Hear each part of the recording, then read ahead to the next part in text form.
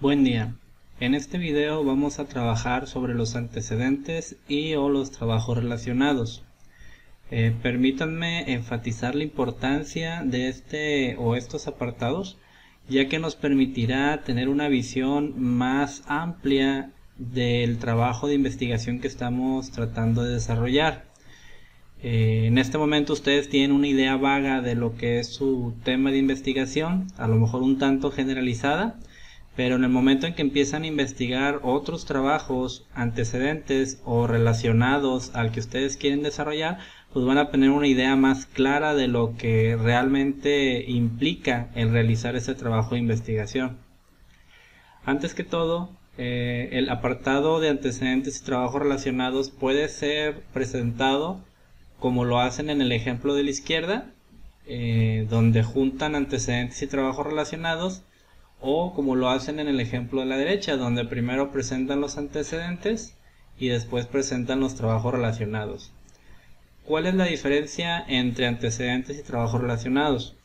Los antecedentes son aquellos trabajos, pueden ser tesis, pueden ser artículos o ponencias o cualquier tipo de material o investigación que se realizó anteriormente que tiene relación al trabajo que ustedes están realizando en este momento no tiene que ser exactamente el mismo trabajo. Puede ser un trabajo bastante similar que se haya desarrollado a lo mejor en otro estado, en otro país o, en otro municipio en, en tiempos, en años pasados, ¿verdad?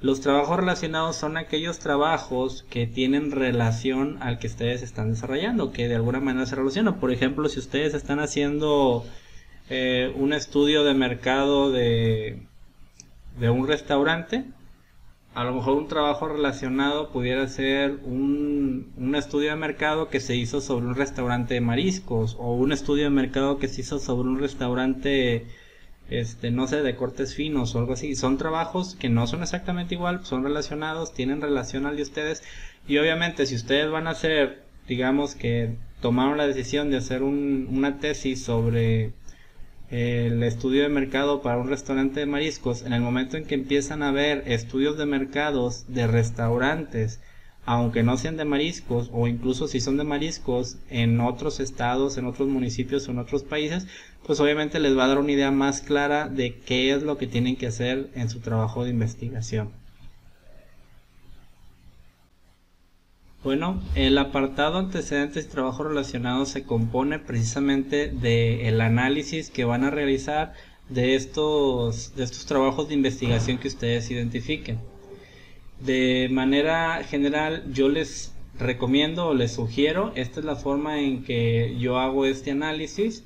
Agarro, por ejemplo, identifico una tesis que tiene relación o que es similar o que antecede al trabajo que quiero hacer y primero identifico quién o quiénes lo hicieron, quiénes hicieron ese trabajo, cuándo lo hicieron, cuándo hicieron ese, ese estudio, en dónde lo hicieron, qué fue lo que hicieron, cómo lo hicieron, qué resultó y finalmente qué relación tiene ese trabajo que estoy analizando o, o, qué elementos puedo rescatar que me puedan servir al estudio que yo voy a realizar. Vamos a verlo en la práctica. Empezamos, como siempre, con el concepto de, de qué son antecedentes o qué son trabajos relacionados, cada uno con su conceptito en, formato APA. Y empieza el análisis. Eh, yo sugiero que hagan un párrafo para cada uno de los análisis. Por ejemplo, este dice, según el diagnóstico realizado aquí, ¿qué hizo? Hicieron un diagnóstico. En el año 2016, ¿cuándo lo hicieron? En el año 2016. Por el Fondo Nacional del Emprendedor México. ¿Quién o quiénes? El Fondo Nacional Emprendedor México. Enfrentó un gran reto en el rubro de productividad para mitigar el efecto decreciente. Se emitieron convocatorias a nivel nacional. Se emitieron, ¿qué hicieron? Se emitieron convocatorias a nivel nacional. ¿Qué resultó? Bueno, de esas convocatorias que se emitieron, el 34% de los recursos puestos a disposición para emprendedores se repartieron entre estos estados, ¿verdad? Esto fue lo que resultó. Ahora, ¿qué relación tiene con mi trabajo? Dicho estudio sirve como insumo para el análisis en retrospección que se realizará en el apartado de resultados. O sea, el estudio este me va a servir para hacer esto en mi tesis. Otro ejemplo. David Estuardo Ichchop. ¿Quién? ¿Quién lo hizo? 2014. ¿Cuándo lo hizo? Realizó una investigación de financiamiento. ¿Qué fue lo que hizo? donde muestra que el 100% de los pequeños empresarios de la ciudad tienen conocimiento y aquí describe de manera general los resultados. Esto es lo que resultó. Y finalmente, ¿para qué me sirve? Este estudio nos permite identificar algunas fuentes de financiamiento empleadas por empresas pequeñas. Vamos a trabajar en este otro acá, dice.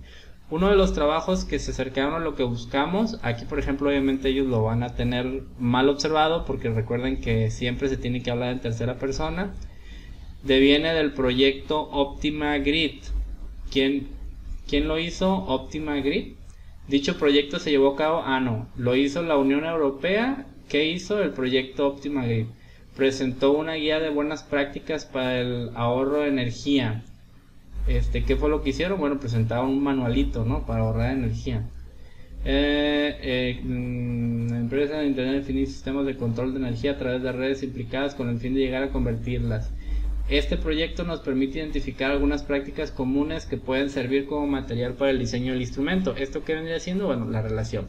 Ahora, obviamente va a haber estudios que a lo mejor no van a poder contestar todas las preguntas. ¿eh? A lo mejor en algún estudio no especifica cuándo se hizo. Hay trabajos que no tienen fecha o no, se la, no, no, no las ubicamos.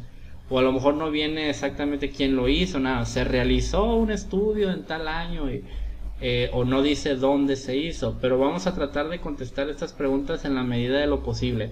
Repito, esta no es, es, es, esta no es la única forma de hacer estos, estos análisis. Esta es la forma que yo sugiero porque es como se me hace más simple a mí y como le ha resultado más simple hacerlo a mis anteriores asesorados. Si su asesor les propone otra forma de hacerlo, adelante. El punto es que se cumpla con los antecedentes y los trabajos relacionados. La forma o el proceso que sigan para realizar este análisis, pues ya lo van a platicar con sus asesores. Pero si, si, si no saben exactamente por dónde empezar, bueno, esta es una sugerencia. Por mi parte sería todo, les agradezco y, como decían hace rato, este, síganme para más consejos.